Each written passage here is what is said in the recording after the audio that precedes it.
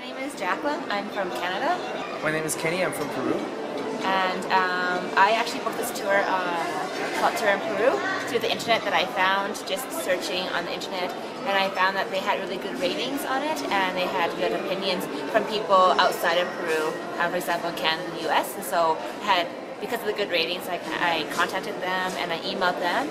And through correspondence of over about a month, um, they were able to give me lots of information about um, what the tour would entail, what it would include, how much it would cost, um, exactly outlining the details of the itinerary and what we would be doing.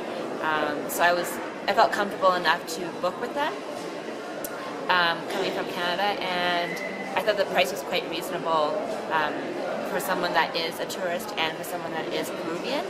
So um, yeah, and then in terms of the actual tour, I thought it was really good. Yeah, for sure. It was well organized. They gave us a briefing the night before um, to tell us exactly what to expect, what to bring, um, and uh, Kenny didn't uh, pack the right stuff, and so they were kind enough to show him where to go to get some shorts and that type of thing. So right. I thought that was really they try to go out of their way to make you feel comfortable and to um, get everything organized for you.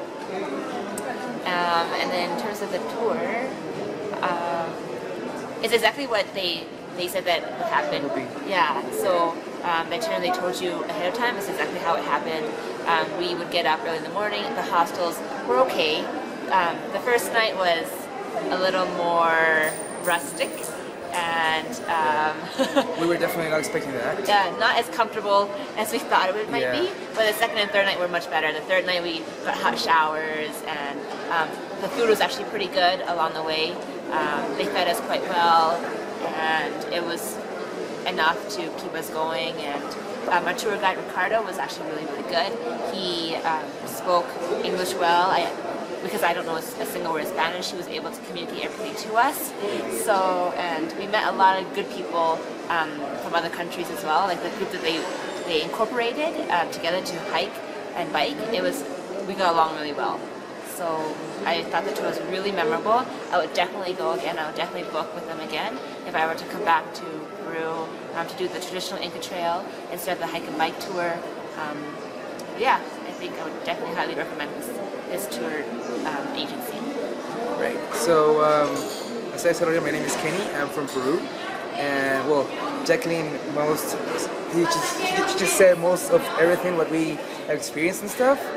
I definitely believe that Tour in Peru is a really good um, tour agency, and I would definitely do it again. I'm looking forward to come back again to Cusco and do the Inca Trail someday soon. I hope so. And uh, well, hotel, hostels were alright. Food was okay. Uh, we totally understood that we were uh, experiencing some sort of um, real wild hiking trip, right? So it was all about get up involved with the situation and stuff. So I strongly recommend this agency. The people was was nice. The tour guide, she said already, uh, she did speak English all the time. Because actually the only Peruvian who was there is was me, no one else. Um, so I hope you guys have fun, and I hope to see you later.